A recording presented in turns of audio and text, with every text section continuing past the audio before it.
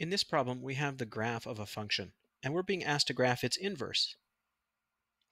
The thing to remember about an inverse is that the x becomes the y and the y becomes the x. You just swap those x and y for each of the coordinates in the graph of your original function to get the inverse.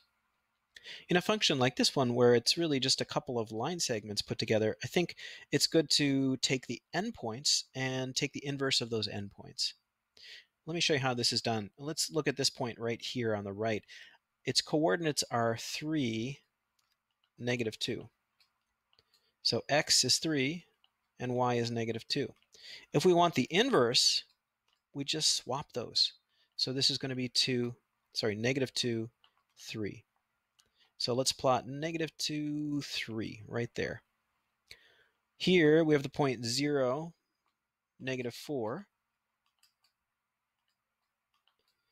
So we'll do the same thing there. We'll just swap these. We get negative 4, 0.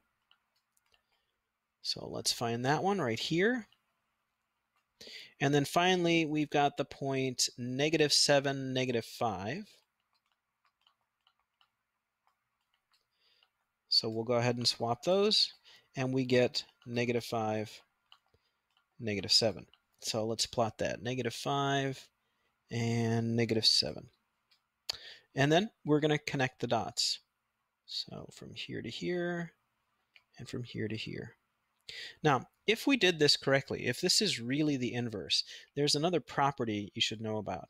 And that is if you draw a line the line y equals x, this 40 uh, line that goes at a 45 degree angle uh, from left to right and up through the coordinate plane, it should bisect this. You should get a mirror image on either side. And that looks like exactly what has happened here. So that verifies that we really do have the inverse uh, of our original function.